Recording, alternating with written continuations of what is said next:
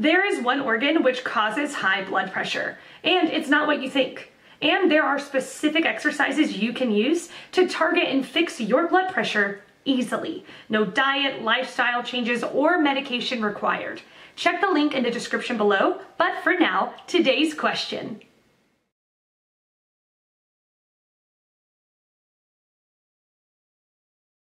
The timing of each drug is individualized according to its nature, half time in the patient's condition. But as a general rule for a long-acting, once daily, drug it is better to be in the morning so that its peak effect coincides with the most active period of the day. Besides, blood pressure tends to get lower during sleep at night.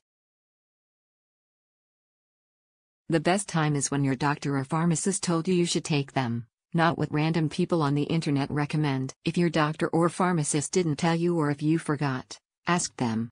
I know this is a really generic answer, but these sorts of questions really are best answered by medical professionals who know what they're doing, know your medical history, and know why they're prescribing this specific medicine.